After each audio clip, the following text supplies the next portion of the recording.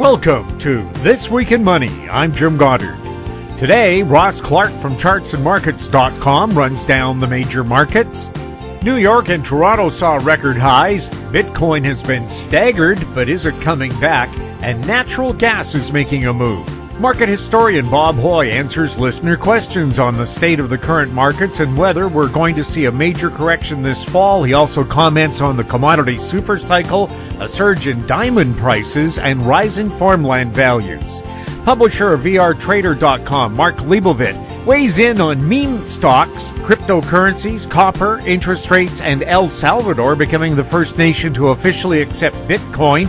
He also has a special offer for our listeners.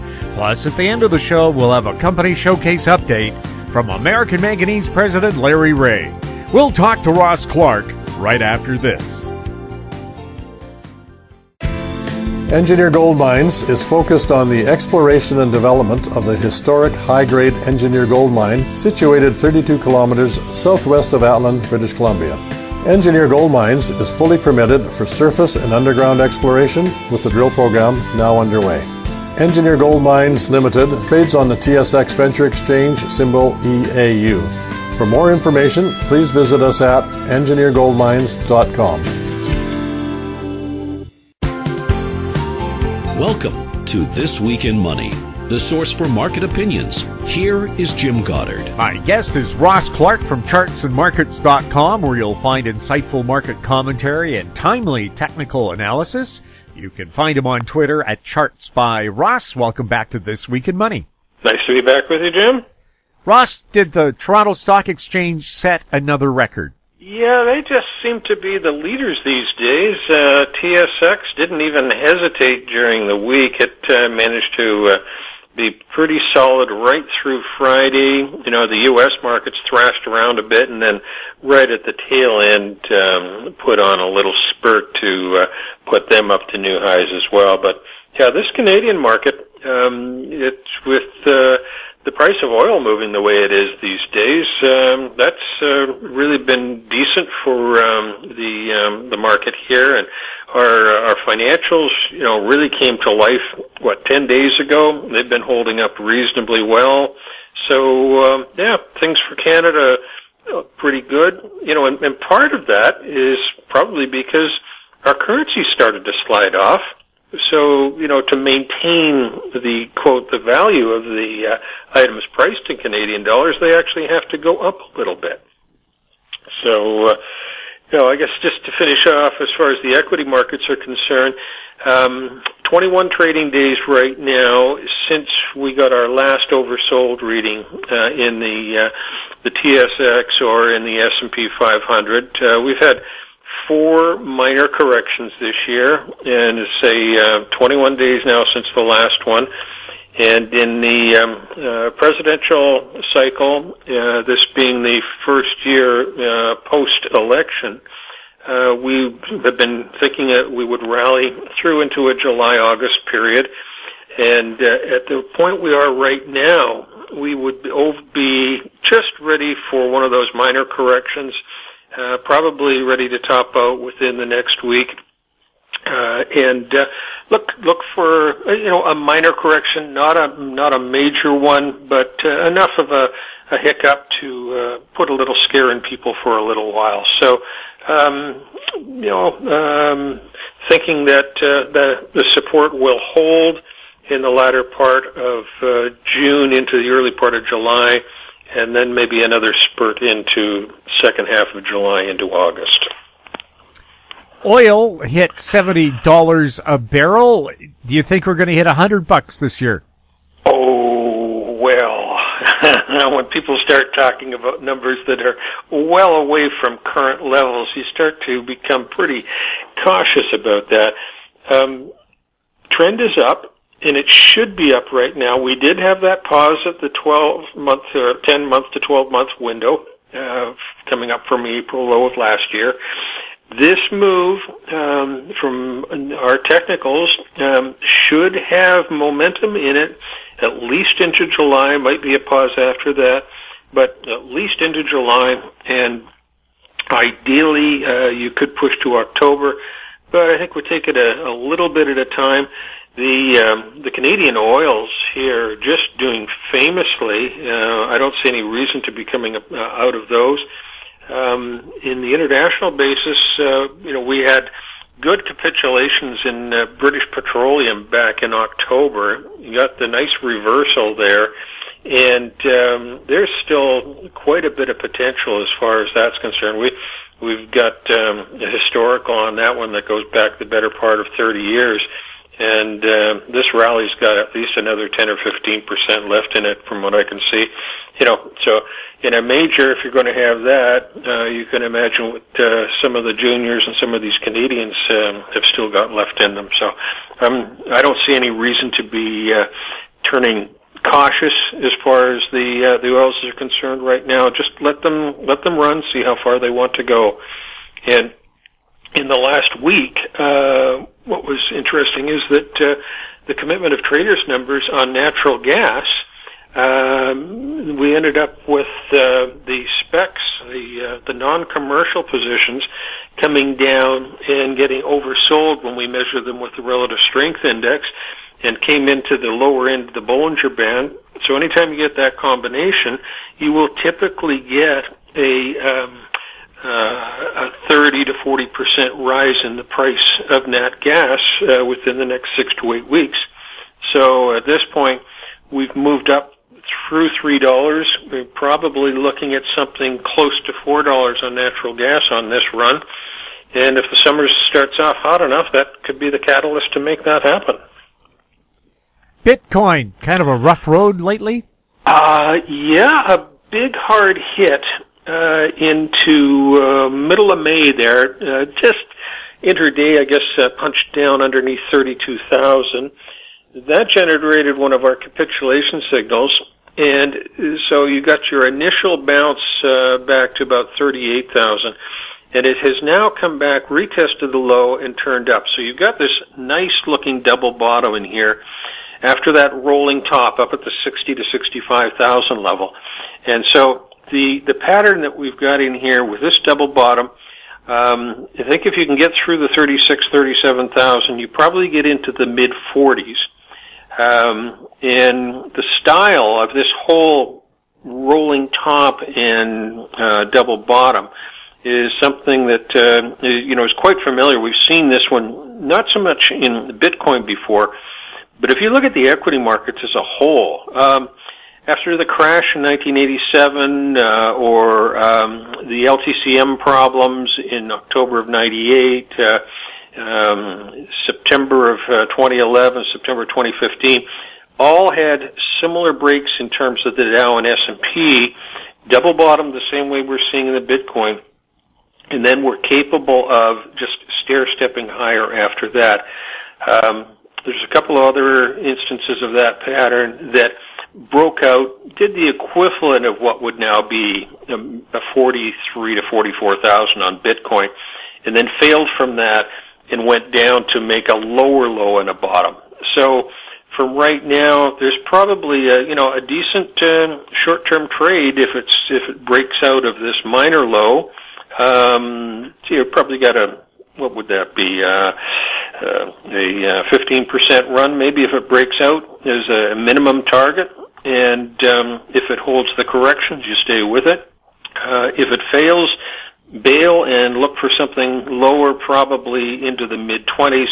I'm not going to second guess, you know, whether it can go or not. Uh, we just uh, take each move as it uh, progresses. Ross, thank you so much for the update. Good to be with you, Jim. We've been speaking with Ross Clark from chartsandmarkets.com. You can find him on Twitter at Charts by Ross. Coming up, Bob Hoye next on This Week in Money. Always consult your investment professional before making any investment decision.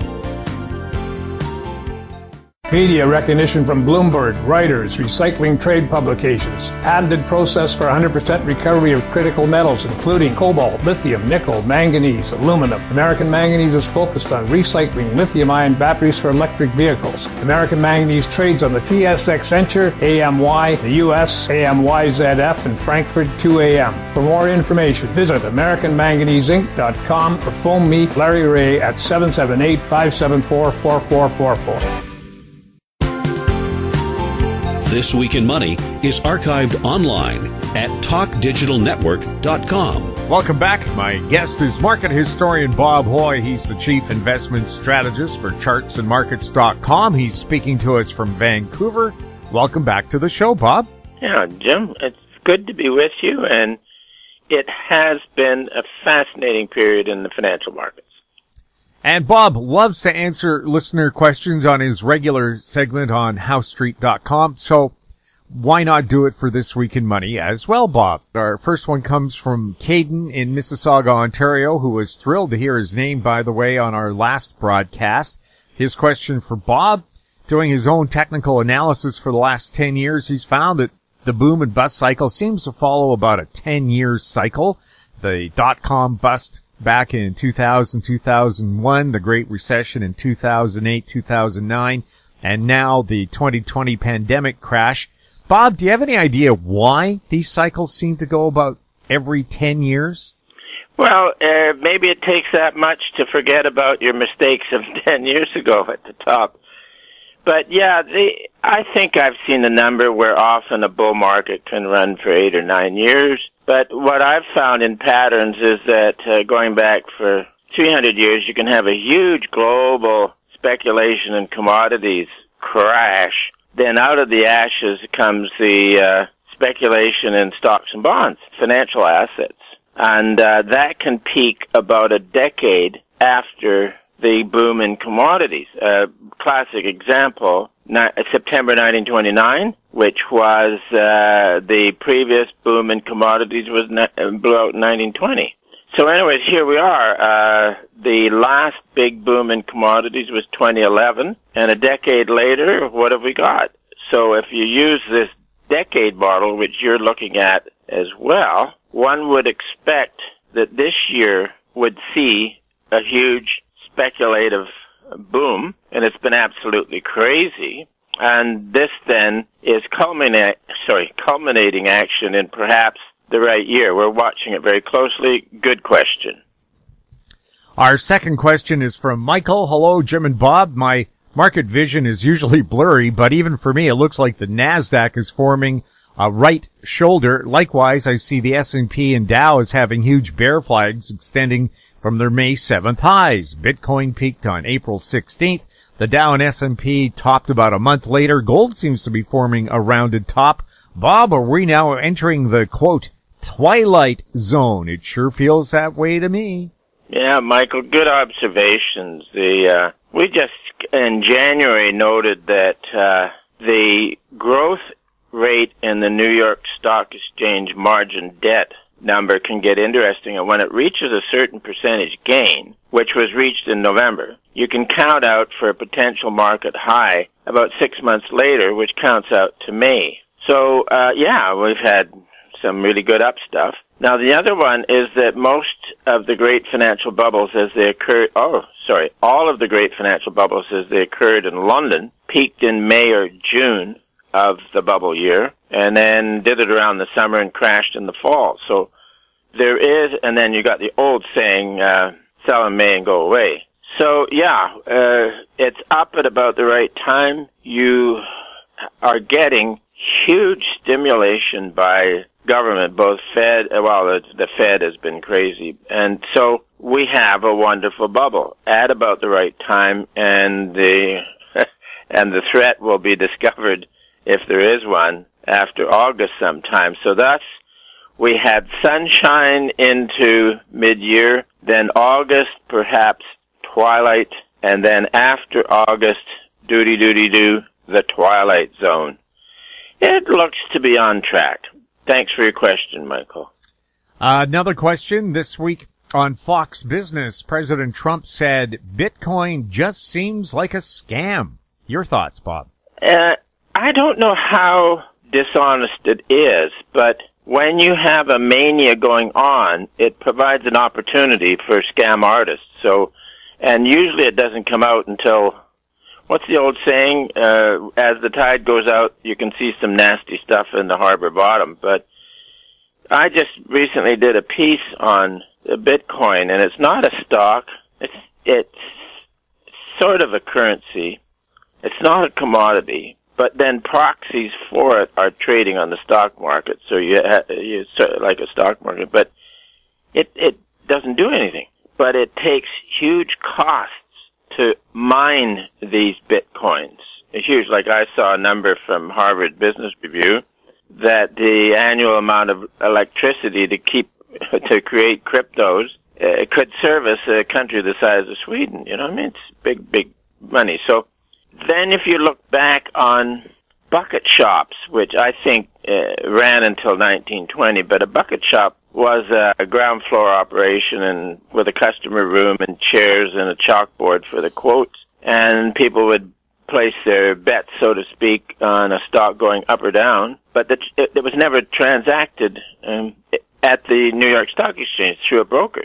They were just trading these uh, proxies for stocks, and you had the cost there, uh, you know, uh, office space and board markers and stuff like that. And then you go way back at Stock Exchange in late 1600s in London. Sorry, yeah, late 1600s in London. They were at coffee shops. Like they didn't have a building that was a, a stock exchange. They were hanging out at a coffee shop. And then in the 17, late 1700s in New York City, they traded uh, uh, under the buttonwood tree outdoors.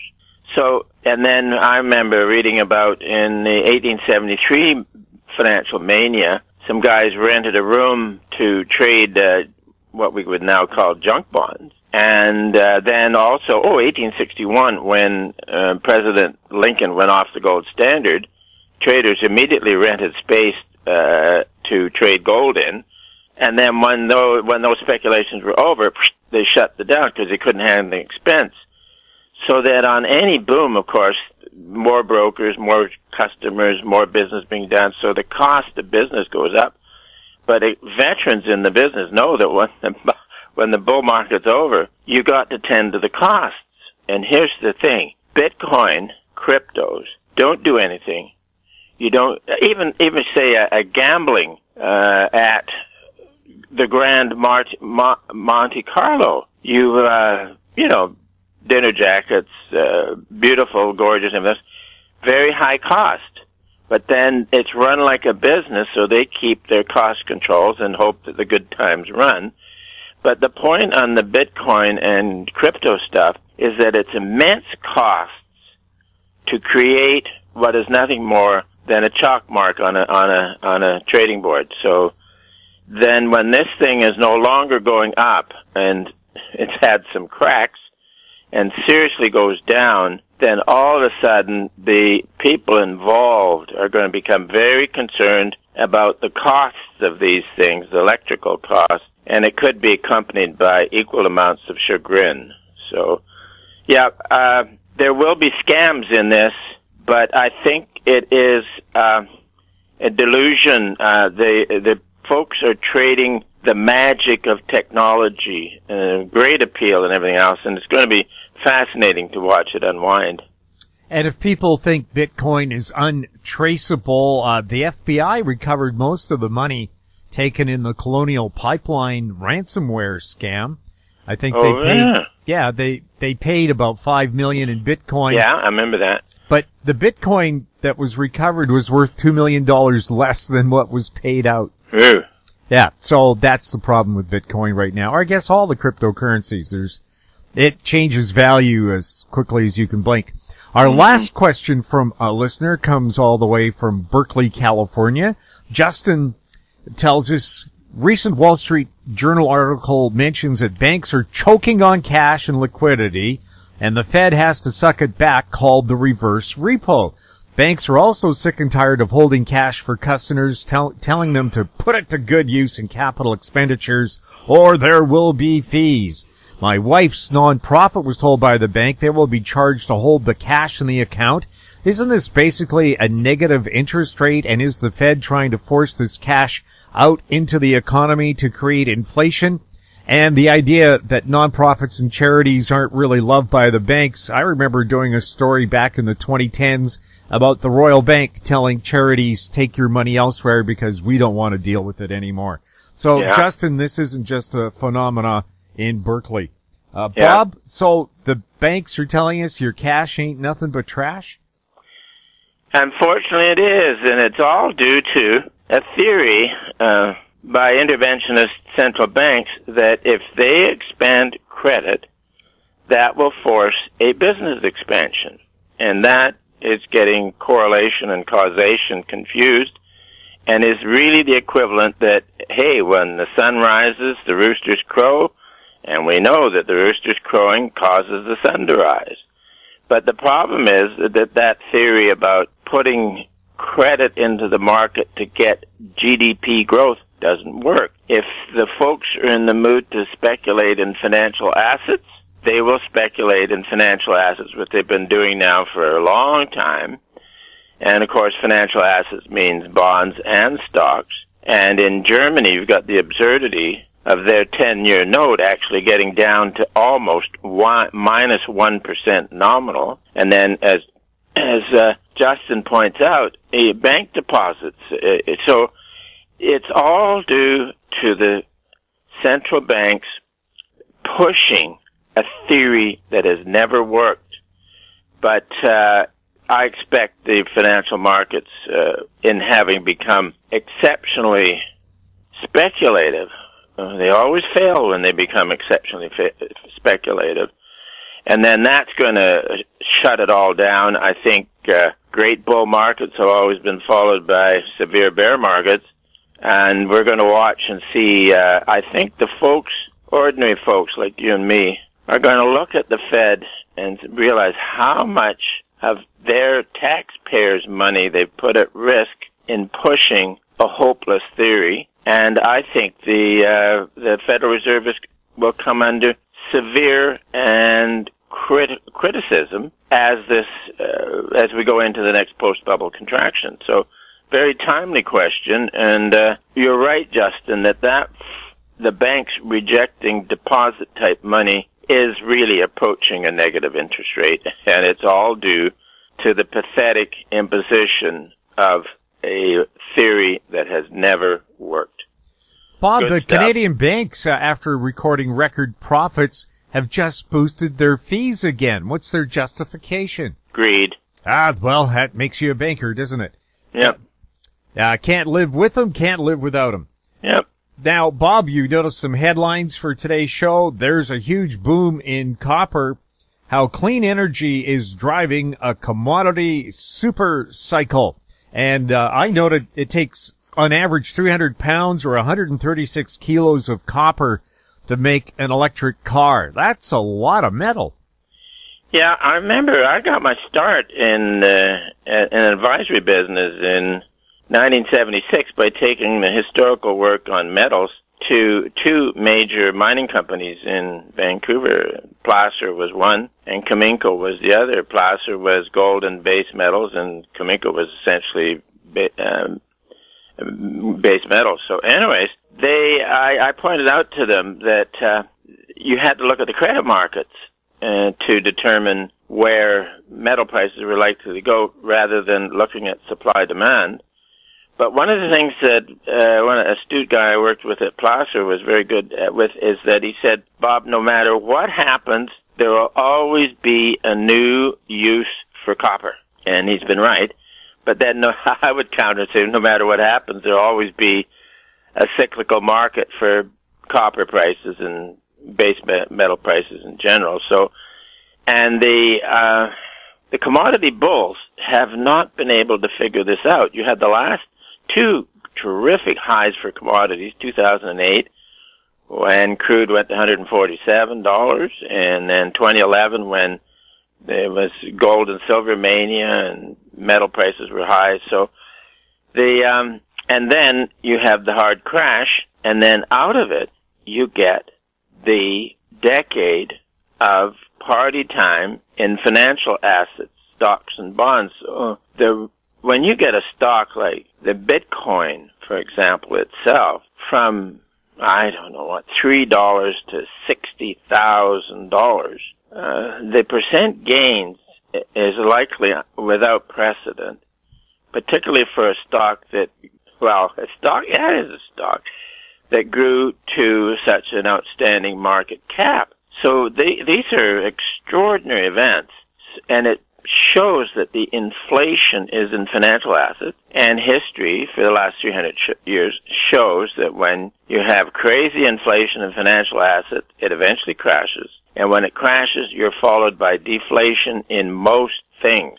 And I'm, I'm sta- we're staying with this. I, I, it is inflation and primary inflation with that financial assets accompanied by a strong business cycle that had bid, uh, that bid up uh, commodities. So what you have, like for example, the July contract for lumber got up to seventeen hundred dollars uh, a few weeks ago, and I just looked at the quote a little while ago, and it's a thousand and fifty dollars. A huge break in commodity prices.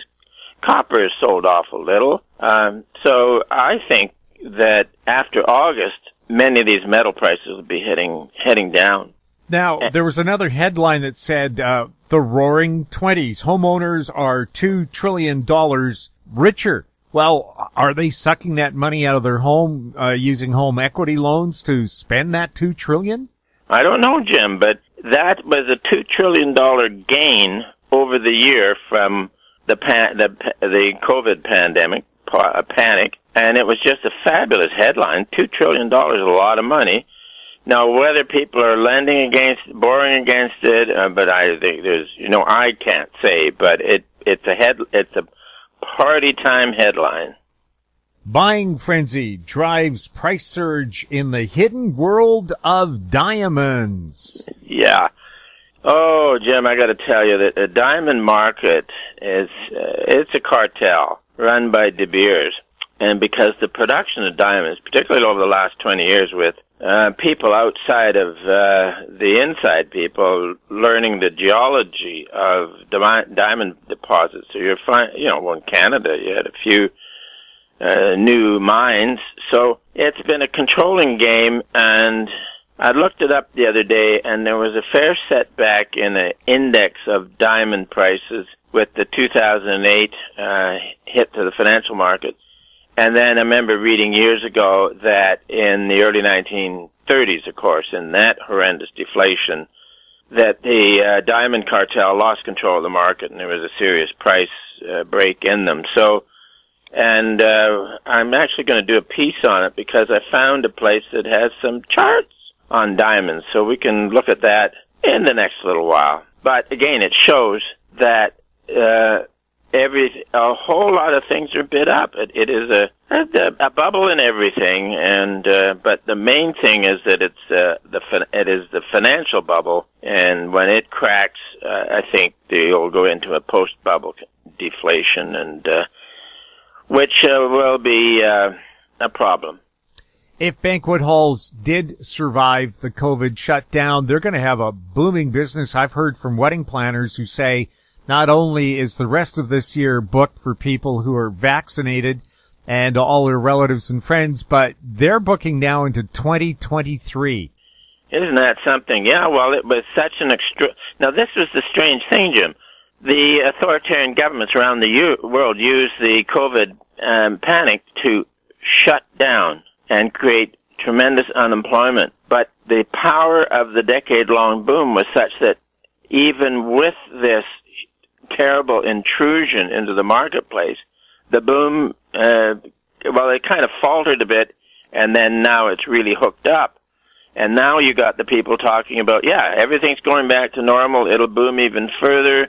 The Fed is crazy. We're going to get inflation and everything else. But listen, in the last few weeks, lumber's gone from $1,700 down to almost a G-boy. So, uh, yeah, we'll see what happens. But, uh, it is, Jim, it is both a privilege and a fascination to be aware and watching as this kind of wild market activity uh, works its way out. I mean, this is this is historically record stuff we're watching here, and yet recent investors to the party, and some have, in a shorter of time have learned how to make money, and having stocks go straight up is now considered normal.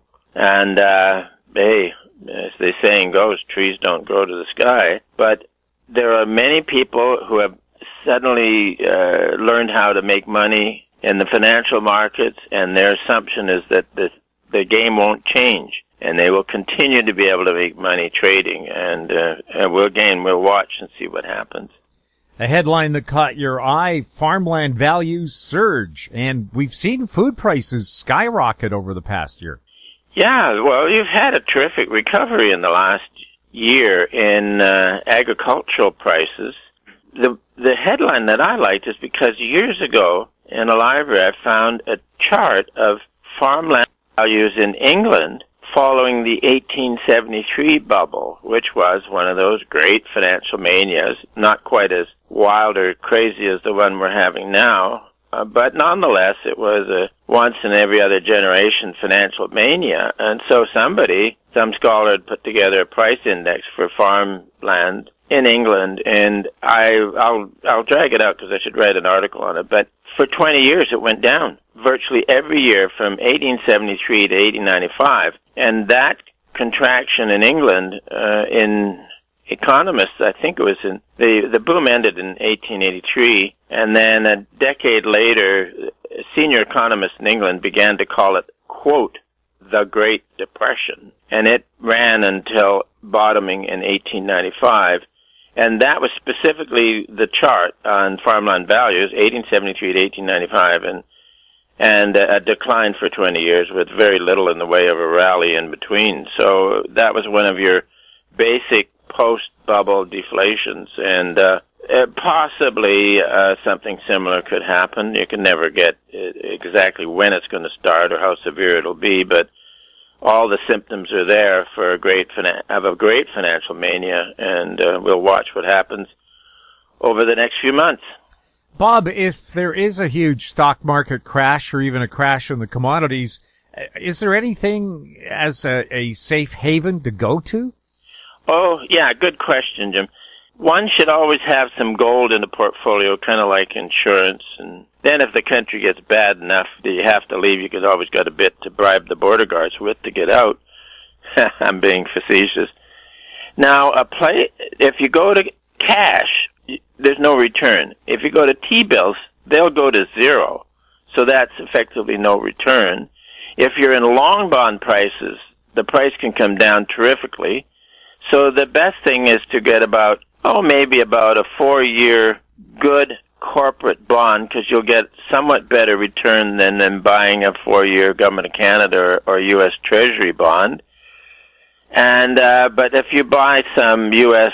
Uh, good grade corporate bonds, as I say, about a four year term, you'll be protect, it'll be a reasonably safe pri- price, uh, place on price uh, more than likely the uh, the interest rates will continue, and that and the other thing is that from Canada to the U.S. you're going to get a, a, bonus out of the U.S. dollar going up, and uh, so it you have to find a broker that'll work with you to try and and get this. But if you want to do per, perhaps the most practical thing would be a four-year U.S.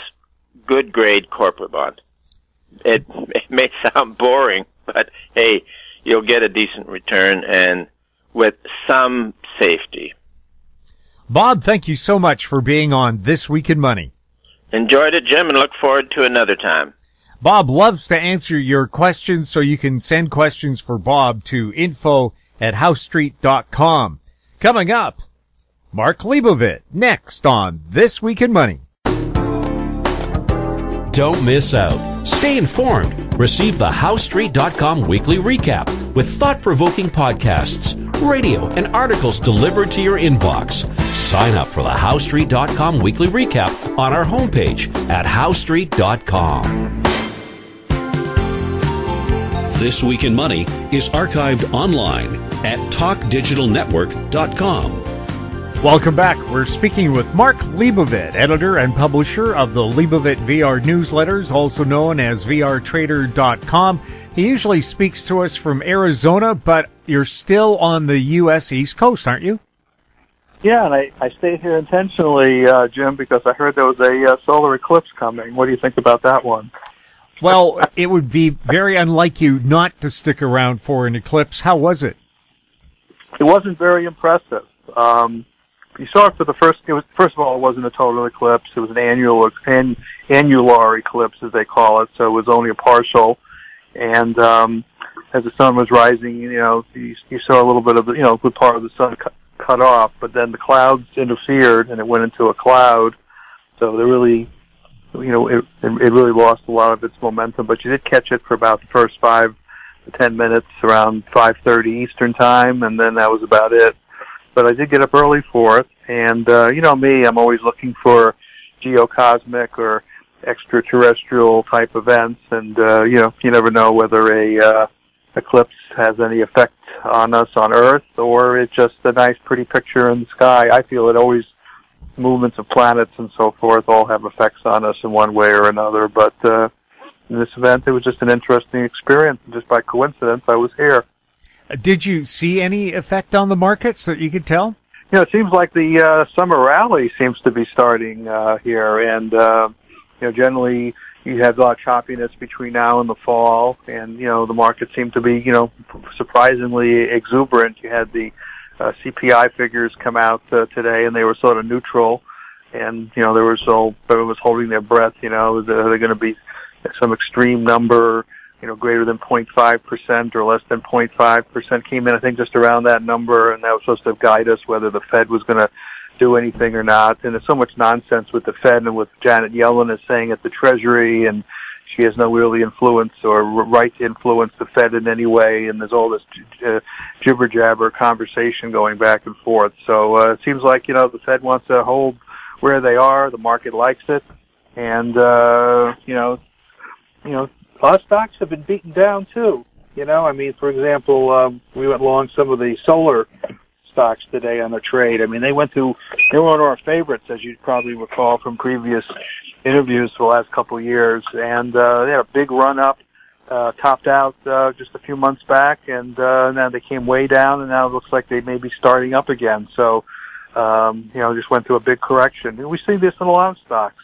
You know, cannabis stocks had a big correction, shook everyone out, and they start another run. So we'll see whether the solars are off to the races any big way or just a technical bounce. But just a lot of interesting stuff going on. And, um, you know, we saw the meme stocks like uh, GameStop for GME uh, and um, AMC, um, AMC theaters, for example, get hit the last uh, couple trading days. And there's a lot of action about those you know, stocks have supposedly, well, they do have large short interests, and there's been a little discussion about what the short interest is and how you measure it and if there's a cover up there or not. But uh, they've been under pressure the last couple of days, uh, and they're probably setting up for another run as well. So just a lot of uh, action here. Uh, I'm more of a bear looking into the end of the year, but I'm a pragmatist too, as we always joke. You know, you can make a forecast, but as a weatherman does, but you want to look out the window just before you do anything because you know sometimes the short term things pop up and you want to act accordingly. So at the moment, um, you know, I'm, I'm, I'm cautious overall, but I'm not going to fight the tape. And if there's a trade like in the solar stocks or a cannabis play like um, uh, CGC or Tilray, which we traded in the last couple of days, big Canadian cannabis names, we're certainly going to do it. With uh, solar getting attention, did that affect silver, which is used in solar panels?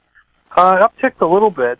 Uh, silver's not running away here. This was uh, many of the traders were counting on a big, big squeeze in silver. You know, apparently the deliveries are not as easy to obtain, and uh, the claim is there's still a lot of shorts out there in the silver market, and we're going to see a huge move like we saw in the uh, in the uh, main main stocks the GME, um, AMC type names that we've talked about, Sundial, the Vancouver name in the cannabis space, but it hasn't happened.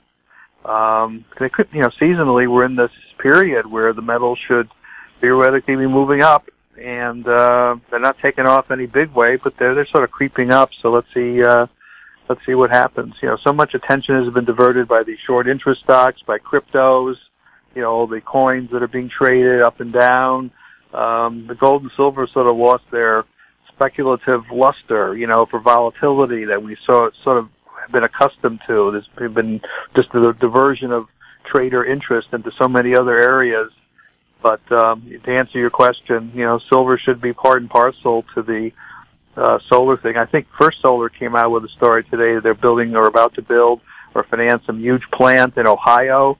Uh, so obviously they feel um, that uh, the business is going to be expanding, and you know, rightfully so. I mean, uh, there's a lot of demand for it. The question is, is that we've always questioned is whether you know this is going to uh, be able to uh, place our other energy needs, which I don't think is the case.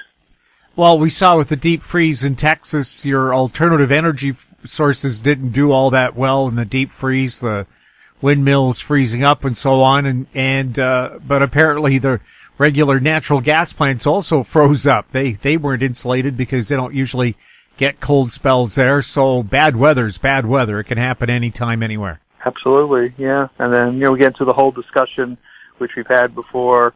You know the the green movement how it's you know so supportive of the windmills and, and the solar, but seemingly so against crude oil. Yet uh, crude oil's been going up ever since they've been opening their mouth about how they hate crude oil, and uh, has pulled back the last day or so. But really fooled the bears uh, there for sure.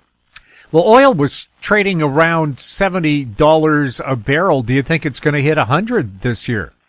Good chance it could. I mean, I, I sort of speculated months ago that it could hit that kind of number when it was way down there just because the sentiment was so, so negative. And then, you know, a year ago, March, we had that negative washout where uh, crude oil was trading on, or was it $30 a barrel or some crazy number? And, uh, that's usually a sign of a generational low. And one of the things that I do is I like to add the magic number 100 to when I see big breaks in um, individual stocks or commodities or some multiple of 10, just a mathematical thing we play with technically. And when it got down to that number, I see, well, $100 from here would probably get us back up to 100 at some point. And, you know, I wouldn't be surprised over time it goes even a lot higher than that. It just got everybody so conditioned to believe that crude oil is going to go to zero and that we don't need it anymore. And, uh, you know, with the recovery, the world economies are now starting to experience um, you know, the need even for the crude oil into the, um, the green energy movement. You still need the crude oil to pr- produce the kind of equipment and parts for solar or for even, you know, for uh, wind or, uh, you know, if you're a supporter of uranium, that's been hot too. Uranium's been moving up as well. You still need crude oil to, to build those plants, to build those equip that equipment. So, uh, yep, it could be a hundred, Jim. Now, with uh, so many RV dealers across North America saying they're sold out or back ordered, I know how much it takes to gas up a motor home uh, on wheels. And somebody said you have, have to remember too, it's a house that's going to be facing hurricane force winds continually. So there's a lot of maintenance that goes along with it. But, uh, 200 to $500 to fill one tank of a four tank vehicle. Is that really going to put a demand on gasoline over the summer. Absolutely, absolutely. And a lot of people are traveling and so forth. It's funny you mentioned RV. I've been sort of toying with an idea for years to get one of these things, and uh, I think I'm going to wait until uh, Tesla comes out with uh, or equivalent comp- uh, type products put out by another company where it runs on electric, so I don't have to deal with the gas issue. I definitely, you definitely want solar panels on the top of your RV, that's for sure. But if there's some way of you know, avoiding the high cost of gasoline, which if my, prediction that we're talking about of $100 or more occurs, I mean, it's going to be astronomical to fill up that tank. And, uh, you know, if you could plug it in somewhere and char- charge it, depending, of course, on the distance you can get, that's another big variable. Uh, that would be a big, you know, big savings. So uh, I've been sort of holding back on the RV project because of the potential costs, as, as you've as you've indicated. President Trump told Fox Business he says Bitcoin seems like a scam. Uh, what's your opinion on that? Uh, you know, I don't, I, I can't go really go along with that. It's a scam. I mean, look how much money has been made on this coin. I mean, you could have bought it for what, 10 bucks, you know, six, seven years ago, and it only went to $60,000. And companies have accepted it as as a a uh, legitimate exchange vehicle. I, I can't remember the exact country came out. Of. El Salvador. Yeah, El Salvador. So you're good. You got all that research in front of you. They're accepting the Bitcoin as an acceptable medium of exchange.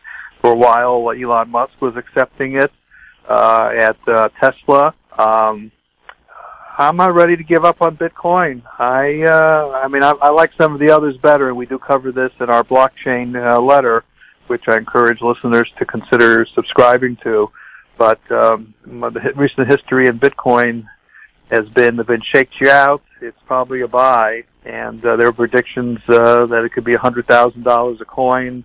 You know, when it was trading at a fraction of this current price, and it got to sixty, and now we've had a nice correction from you know, 60,000 under 30,000 and, uh, it could be setting up for another up leg. So, um, I'm, I don't think it's a scam. Uh, you got, you know, you got to trade it like anything else, or if you're going to invest in it, you got to just put X dollars that you can afford to lose, I guess, if you feel there's that much risk in it. But I think it's becoming more acceptable. I think there are better cryptos out there.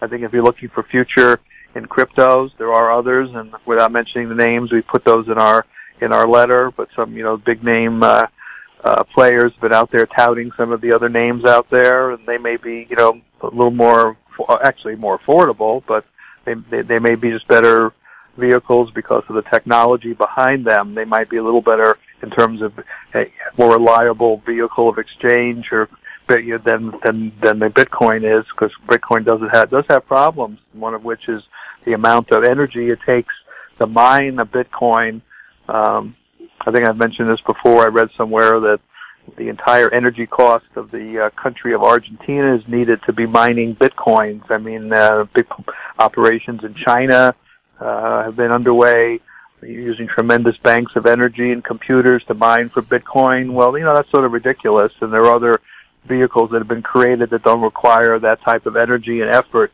So I think uh, over time it may fade out. It may not be the best choice. But if you're a trader and you think there's a chance it could run again, you got to look at the charts and trade accordingly. And we just had a nice shake in it, so it might be setting up possibly for another leg higher. So let's keep an eye on it. The FBI says it's recovered most of the money paid out in the ransomware attack on the Colonial Pipeline. However, they say they only got they got two million dollars less because Bitcoin had fallen so much since the scam took place. That's interesting. Well, this is the risk, you know, when companies start accepting a coin that has this type of volatility. I mean, it's not, you know, I don't want to say, I guess you're going to compare it to the dollar, you know, the Canadian dollar or the U.S. dollar, you know, they're, a lot more stable. They don't, they don't move, you know, 50% in value, uh, away from where they had been, you know, the way Bitcoin just did. So, you know, there are, there is risk in, uh, accepting that as a medium of exchange, no question about it. That's, uh, part and parcel to the game if you're using, the cryptos, but are reasons why these were created. They were a way to avoid, you know, uh, to protect oneself supposedly against devaluation of currencies and for privacy reasons. And, uh, you know, it's, and it, it became, and, and also the uh, state of the internet and the technology and the creation of blockchain, you know, created these things because of their ability to perform financial functions faster, safer, more securely than, you know, the normal processes. So, uh, Yep, to answer your question there, there's definitely a risk there, but uh, there's no reason to avoid them. You just have to be smart about how you use them.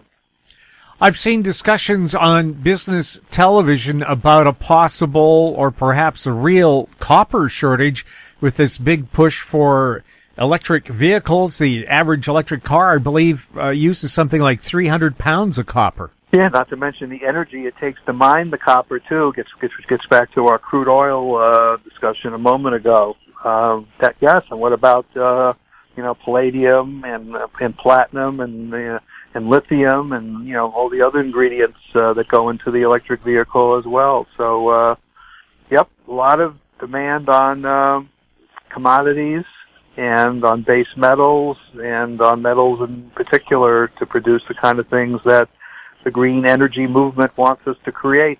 And if the next 20 years, uh, some companies are saying they're going to be 100% EV vehicles, that's going to be a lot of copper, a lot of lithium, a lot of palladium, platinum, and so forth. And uh, these are definitely markets that uh, you know would stand to benefit. So I agree with you, higher prices. But like you know, we've seen this. We just saw it in the solar stocks. We talked about this a few moments ago. You get a big run, there could be a 50% correction. We just saw it in uh, Bitcoin, almost a 50% correction. You can see it in, in uh, copper too, and then back up again. So you have to be aware of where you are on the chart if you're trading them. If you're just taking a long-term viewpoint that copper is going to be great, then sure, own copper stocks long-term like Freeport and Southern Copper and others. But be aware that you know you you got to be aware of the risk, and uh, some portfolios prefer to write call options against positions to generate a little protection, a little cash flow against their holdings, just in case uh, there are setbacks along the way, which are inevitable. Now, also with batteries means uh, lead zinc is going to be used, and most of the world's major lead zinc mines have either closed or are in the process of closing. What's that going to do to those boring mineral prices when you talk about lead and zinc? What could be more boring? But if the prices start to skyrocket, they become interesting again. Right. I, I don't have a particular name in the uh, lead zinc area. I'd have to do some research. But uh, listen, there was a time when gold was down at about near a thousand dollars an ounce, and mines were closing, and you couldn't raise any money for gold and silver operations here. Just you know, a couple three years ago. I mean, it was uh, things changed really quick. So money's going to find its way to get those uh, operations back in gear if there's demand for those uh, those those materials. So I would say. Uh, if you're correct in your statement about the demand for those, we got to find the stocks and companies that are going to benefit from um, you know re-engineering and you know reigniting those operations. The six major Canadian banks say they are awash in cash. People are paying off their credit cards. They're loading up their savings accounts with all of this government aid. What's going to happen with this money? Will banks be doing their very best to shovel that money out the door? And will that affect interest rates? Uh, I don't know if I can handle all those questions. I'll do my best. I know bank stocks are starting to back off here a little bit because of the spread. The spread, they're making a little less money on the on the spread. Um, uh, I, I don't have a lot of sympathy for the banks, uh, Jim. You know, I'm sure they're going to survive. Uh, you know, they're part and parcel to a lot of shenanigans over the years. Um, one most notable of which was Wells Fargo with all that criminal activity they were involved with. But uh, um, you know, the bottom line is rates are probably going up, and uh, as rates go up, banks tend to make more money. So uh, even though we're having a little pop here in the interest rates where they ran up, now they're pulling back a little bit. I guess traders and investors became less concerned that the Fed's going to do something right away, and uh, they got a little more bullish, thinking that you know you can buy bonds and you know not going to call you know there's going to be more of an opportunity here on the long side, but uh, I think the overall bigger picture trend is that uh, we're going to see higher rates. So the banks uh, will, will do well in that environment, and I'm sure it's going to resume. You know, whether it's three three days or six months, I think you're going to see rates starting to move back up again. So anyway, I don't know if I covered your question there. How damaging have low interest rates been to the insurance companies and to pension funds? It's been disaster because they're not unable to generate the yield that they promised uh, uh, their pension inv- investors. And uh, there's been talk for the longest time that rates had to go up to, to save these funds because they have to generate X percent a year, and with uh, zero interest rates in Europe and near zero here in the U.S., how were they able uh, to do that? And uh, it's it's still an unanswered question, and there's still risks to these uh, these pension funds that uh, you know, cannot meet their demand. The question is whether there's going to be bailouts of them, whether there's going to be collapses. There's a lot of talk about this over the months and years, and I really don't know where that's all going to resolve. But uh, you know, they haven't been able to, you know, conservatively generate. I'm, I'm I'm just talking out loud here. Of course, we had an extremely strong stock market, and I'm assuming some of their, you know, investments have been in the market. So perhaps that offset the fact that rates are so low. They're making it on the equity side and they're able to uh, still satisfy their pensioner investors. So, uh, but for the longest time, when the markets weren't doing well with rates low, it's difficult for them to, you know, to generate the returns because they generally like to be in the bond market. Many, many of them use the strategy of selling call options, for example, to generate cash flow, uh, which is a little bit of an offset. But uh, low rates isn't good for the um, for the pension funds, and has been a big problem for uh, for the longest time. Pensioners as well, uh, as people get near retirement, they like to save some money and have cash, and having some interest on that cash would be nice because you don't want to risk your money in something else, and yet you're being told you have to risk it because you won't make any income. Are, are retiring or retired people in a, a really uh, squeezing spot between a rock and a hard place? Yeah, they have been for the longest time. This is an ongoing story now for, for a few years. I mean, ever since we've had the zero interest rates. But, you know, the rationale is go buy dividend paying stocks. Many are still yielding, you know, in the 2 to 5% range, depending on what stock you're buying and if there's a blue chip company and if you're happy to get your dividend and you think the company, particularly ones that have, you know, multi-decade uh, track records for paying dividends and you're willing to accept the volatility of the stock market as long as you get your uh, check on your income, uh, that's not a bad strategy. And, uh, and, you know, in fact, if you buy some high dividend paying stocks, sell some call options against it above the market, generating a little like, additional cash flow is good. And if you're in a big name, and let's just throw out a name, you know, like, uh, uh, you know, Johnson and Johnson or Coca-Cola or Kellogg or one of the companies that'll probably be around forever that have had multi-decade uh, uh, track records of paying dividends. So you're getting only two or three percent. Well, that's better than zero. And like I say, if you generate a little uh, call option writing against the uh, positions, you can do that quarterly. You know, you might generate an extra few percentage points return on your money. And if, you know, stock like that drops 20 or 30%, but, you know, they all tend to come back on a, after a correction. But if you're taking a long-term viewpoint and you just want the income, that's one way to, uh, you know, offset the fact that you can't get it in CDs or bonds and so forth as we used to. Some corporate bonds can give you that type of risk and some convertible bonds are also an, uh, an opportunity. But to answer your question, yes, a lot of money has moved into the market. They were sort of forced into it because there was no other way to generate any return as it turned out, it worked out great because the stock market continued to go up. Of course, we had our big shake last March where, you know, dropped 30 with 38% in 10 days, but it ended up coming back. So, um, that's the history of these big corrections. So the last year's was probably historic in terms of how fast it came back. Um, over the last hundred years, and if you really take the bigger viewpoint, you know, they do all tend to come back. Problem is if you're 80 years old, you know, or 90 years old, you don't have a lot of time to wait for it to come back. So there's definitely a trade-off there, and you got to talk to a good advisor to, you know, balance your investments to make sure that you don't get yourself in a situation where if you need the money and one of these corrections unfold, that you can't get to, you can't get to it. So I guess you got to be diversified, as we always say, you have to be. Employers are complaining of a labor shortage. Uh, some say people are addicted now to their government aid checks and they just don't want to go back to their low paying jobs. But you'll recover AC. That's, uh, I, am going BC AC as before COVID, after COVID. Well, before COVID, there was a labor shortage and people were scrambling to find skilled workers.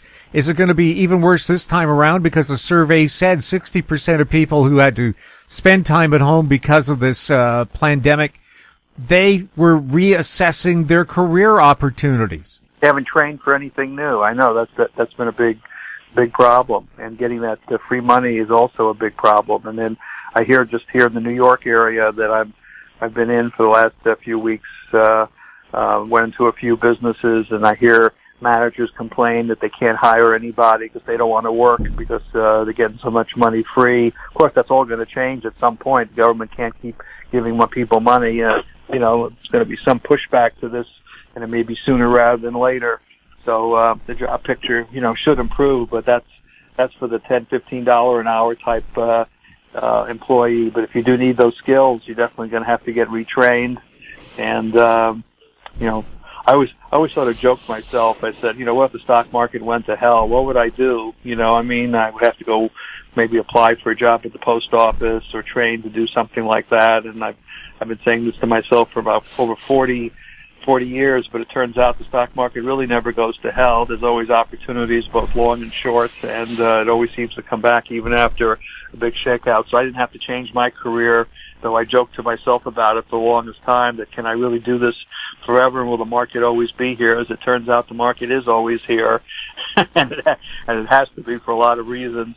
So it depends which market you're trading, but uh, I'm not encouraging our listeners that they should give up career objectives for the market, but I'm just saying that uh, you know things sort of work out the way they're supposed to work out. And uh, uh, to answer your question, I always encourage my kids to to train and to be prepared for you know changes that uh, you know will occur and uh, for demands on their skills. Uh, regular contributor to the show, Mike Swanson, uh, pointed out when the pandemic started and all the casinos closed, those uh, habitual gamblers looked for new opportunities and they found the stock market was the perfect place. They didn't mind risking money and they were finding that they were getting great opportunities and perhaps a better betting book on uh, companies and so on, like we're seeing with Reddit and uh, GameStop and so on. Those are pure gambles but they're intelligent gambles too. Uh, depends what kind of money you're using and whether you do it as I do it. Um, you know, technically, um, you know, we, for example, you know, I don't want to take you know credit for a lot of trades because you know obviously we have a couple losing trades here and there. We're not no one's a hundred percent, but you know we uh, we were long GME just the last couple days. Um, I don't know. I think we made thirty or forty dollars in it. I have to check the exact number. We sold it over three hundred. It dropped about eighty points today. Got down to about two eleven, two twelve, and I feel really good that we sold it yesterday over three hundred. Uh, this is um, it's on our track record, and our clients who are listening know this was the case. So uh, you know, this was based on you know technical analysis. It wasn't based on that I'm uh, I have some type of great intuition or you know I got a crystal ball in front of me. You know, you look at the charts, you see how much these things run up you can see corrective levels in, and that's why I've been a survivor at VR Trader for all these decades because, you know, for the most part, we're right more than we're wrong, and you try to be objective looking at the technical, uh, technical charts. So getting back to what you're saying, you know, even the amateurs out there, you know, to pick up some basic technical analysis skills is not that difficult. You can take any kind of basic course on the internet. This is not rocket science. You can look at moving averages. You can look at the patterns that are repeatable on the charts, which uh, go back decades and decades, or all these books you can read. You can see the same technical patterns, you know, whether they're head and shoulder formations or rectangles on the chart, or uh, pennants, or trend lines, or you know, all these uh, where the moving averages are, or where the moving averages cross.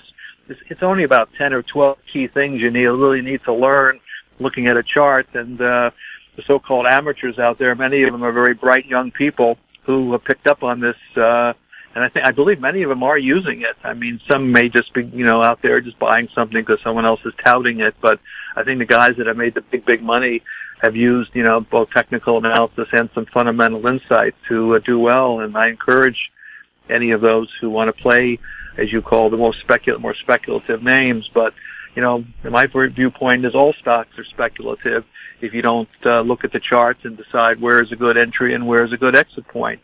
And some of the calls that we've made, you know, are based on what the charts are telling us. I mean, do these things look oversold? Is there volume coming into the upside?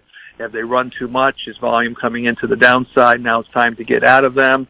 Uh, is uh, is there a lot of good news right at the top, which tends to be the case, or is there a lot of bad news right at the bottom, which tends to be the case?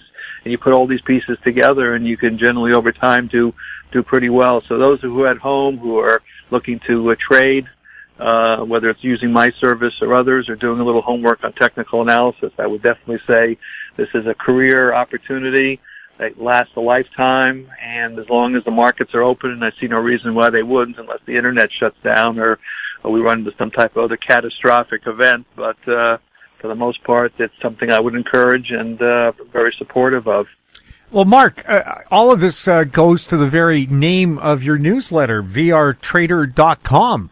Uh, can you just give us a little bit of background to it and, and why it's called that? Yeah, sure. Well, uh, it started years ago when I was a floor trader, but to make a long story short, uh, most of what I do is based on volume analysis and the the term that we use is volume reversal, which is the, what the VR stands for. And you know, though we use a lot of other technical terms and, and and indicators, and we use a lot of cyclical analysis, a lot of what I do is based on these volume shifts that I see uh, in stocks. And some of the big names that I mentioned, there were a couple in this interview, you know, were triggered by these volume shifts coming off bottoms and tops in the stocks. So. uh VR VR traders based on that basic concept. That a good part of what I look at is based on volume trends and uh, analysis. And as I say, nothing is 100%, but uh, the old expression, volume precedes price, and that seems to work for us. That you see a volume shift before a price shift, or simultaneous with it, and if you can identify it, uh, usually can make some money. Mark, do you have a special offer for our This Week in Money listeners? We sure do. It's at vrtrader.com, and we again are offering 50% off.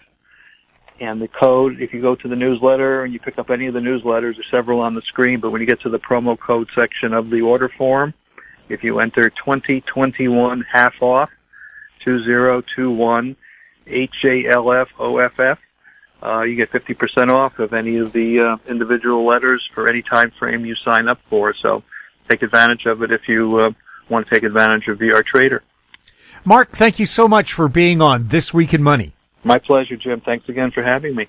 My guest has been Mark Leibovit, editor and publisher of the Leibovit VR newsletters, also known as VRTrader.com. Our conversation took place on June 10th. And that wraps up our show for this week. We'd like to thank our guests, Ross Clark, Bob Hoye, and Mark Leibovit. And thank you for listening. If you have any questions for the show or our guests, you can send them to info at howestreet.com. Now stand by for a company showcase update from American Manganese President Larry Reaugh. I'm Jim Goddard. We'll be back next week with more This Week in Money. Comments made on This Week in Money are an expression of opinion only and should not be construed in any manner whatsoever as recommendations to buy or sell any financial instrument at any time. Archived online at TalkDigitalNetwork.com. This Week in Money is a production of Howe Street Media Incorporated. Executive producer is Tom Allen. Welcome to Company Showcase, an advertising feature on HoweStreet.com. I'm Jim Goddard. I'm speaking with Larry Reaugh, CEO and President of American Manganese. Welcome back to Company Showcase, Larry. Thanks, Jim. Larry, can you tell us about the two news releases your company put out this week? Well, the uh, first uh, release was about the uh, White House's 100 day battery supply chain review. And uh, we were mentioned in that, uh, page 108. Uh, we'll have attachment to this podcast. And uh, so you can hear it. Actually, our YouTube video is on there. And uh, that's a that's a big kudo for us, so uh, that makes us very happy. But they're looking at uh, things, especially in the uh, recycling area, that's of interest to us, and uh, that looks like it could be a catalyst for uh, getting recycling uh, started and going in the U.S. They're already talking about building uh, bigger battery manufacturing facilities and uh, everything else in the U.S. and uh, so it's uh, it's an opportune time. Now the second release is uh, was the about the AGM, and I've only got a couple things to say about that. We got in with uh, over 95% of the votes, and uh, so uh, that was a good thing. And the uh, uh, big question on it, uh, which came up this year and never came up before because it's been in every uh, AGM brochure, is the uh, increase to uh, 20% of the outstanding uh, uh, potential to uh, set options. And uh, so at this time they talked about that, and let's just let's just give a, a little bit of discussion on that. The 20%, like I say, has been there for many AGMs. Uh, suddenly became a focal point uh, on the billboards uh, for this AGM. But I just want to say that that's not filling the insiders' pockets. That's uh, that sets aside a, a very large amount of shares for uh, we especially you know we have the potential of uh, actually building up within the next year our infrastructure here in the office, and uh, we have to attract the top-notch guys, and they they look for top-notch uh, options. So uh, we want to have those available for new guys coming on. We want to have incentives for the existing staff who's worked their ass off for uh, you know, since uh, August of 2016 when we first broke out uh, and into new territory, and uh, and away we go there. there was one other thing that uh, keeps popping up, and some guys would like to email me that we put out nothing but fluff.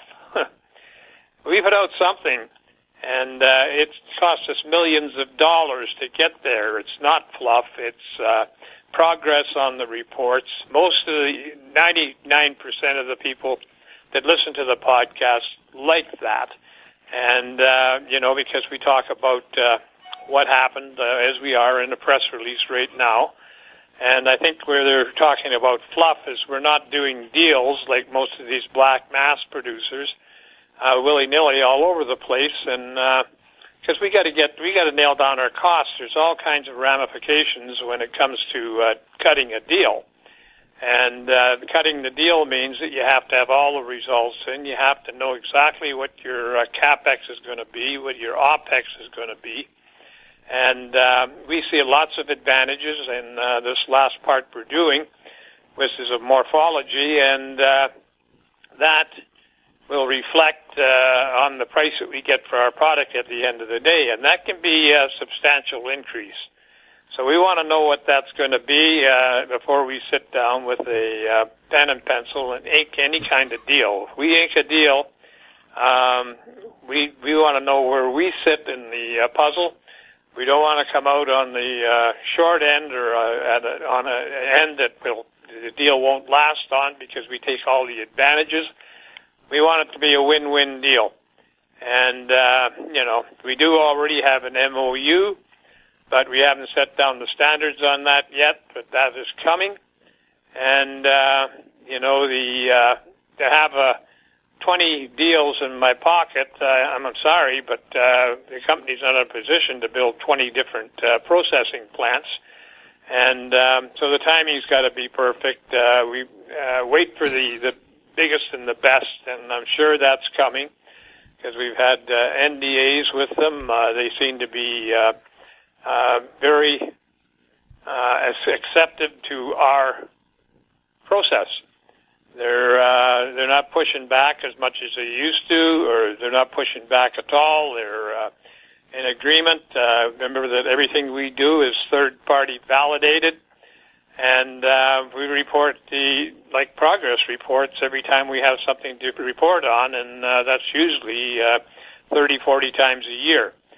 So uh, that uh, that is one of the things that uh, comes out of the uh, uh, out of the AGM that we put out a lot of fluff. Uh, I, I don't know what the hell where the hell they get that from. It's cost us uh, ten or eleven million dollars to put out all that fluff, and uh, you know it costs us nothing to do an MOU. So uh, you know it's not like uh, we're uh, building pies in the sky. We uh, we're very proud of our uh, process, which is solid, and uh, we're very proud of the of Kemetco for bringing it to this point. Now, you may ask why why didn't uh, we go another route? Well, I'm, I'm afraid that Kemetco was the only one that had the answers, and uh, you know we were lucky to tie them up uh, initially in 2008 nine and now uh, they're working hard on our uh, process and uh, also on the uh, manganese project for the uh, DLA. So that that is the interesting things that happen. The uh, I think I already mentioned that we got about 95% of the vote to put the directors back in their seats and uh, to approve everything that uh, that uh, was put on the table and uh, you know people had a chance to uh, you know vote or to go yay or nay. And uh, on their vote, and that uh, that time has come and gone. We're back in the seat for another year, much to the chagrin of the predators, but uh, the because uh, there was a lot of uh, hate mail going on that uh, was happening, uh, you know, up to the AGM and after the AGM, and uh, that uh, most of the time I just ignore it, and uh, because uh, you know I know who I know who my shareholders are, and I know who's loyal and who's not loyal. So uh, that's a that's a big plus. If you're a CEO and you don't know that, you're subject to all kinds of ramifications. But anyway, that's the uh, nut and, nuts and shells of it. We'll have a few attachments on our uh, our uh, podcast this this week or today. Uh, what we're doing right now, I should say, but it'll go out in uh, two or three hours. And uh, once that's out, then uh, everybody can uh, look at it over the weekend. I would advise that you look at the uh, the uh, White House paper there, that uh, and especially go to 107, 108, 109 in that area uh, page, and uh, you'll see that uh, we're prominent out there. And uh, yeah, you know that's another big feather in our cap. So uh, I think that uh, pretty much covers what I wanted to talk about. The uh, we've uh, you know we're still making achievements. Next week we hope to have some new results and. Uh, and uh, maybe even something about what's happening up on the uh, Copper Gold show in central BC, and uh, we can uh, make an announcement on that. And uh, you know, we're making great progress with uh, Native relations up there. Uh, we've, all the applications are in, and uh, we expect to uh, actually uh, see some uh, results coming out of that very soon. We've had a good, uh, we have actually had very good relationships with the natives. This is not my first rodeo with them up in that area. We've, uh, we've been uh, working off and on there for, oh God, what, 14 years. And, uh, so, uh, yeah, everything uh, as far as I can see is looking really good. And uh, the one thing that I wanted to talk about is uh, one thing I've watched, which is uh, uh, you can call it an anomaly or whatever. But when the EV cars first came out, the uh, there was uh, Tesla, and then there was the wannabes, and uh, now uh, at that particular time, uh, some of those shares were trading in the dollar range, dollars range, uh, maybe three, four dollars or whatever, and uh, went on to be hundreds of dollars, and uh, so uh, then it worked its way down to the battery manufacturers and. Uh, you know, companies that uh, were trading again in a few dollars went on to be hundreds of dollars. And I can see the same thing happening for recycling. I think that the uh, recycling is going to uh, take front and center because that's a new kid on the block, and uh, it's uh, it's happening as we speak. Uh, you know, we can tell by the uh, responses we get in our NDA calls and uh, from the uh, approaches we're getting to finances. It's uh, you know there's a lot out there, and uh, so uh, you know it's like everything turned on a dime here about a month ago. So uh, I just think that we could get things to look forward to, um, and uh, I wish everybody a great weekend, and uh, I'm looking forward to resting up and uh, getting ready for next week. Larry, for people new to American Manganese, what's the company all about? Well, the company is a critical metals company that uh, is involved in several areas of the criticality of metals. Uh, the major ones being in the recycling of batteries and manganese, which is uh, has always been my the critical metal that I think is most critical to the United States because they don't have any production, neither does Canada.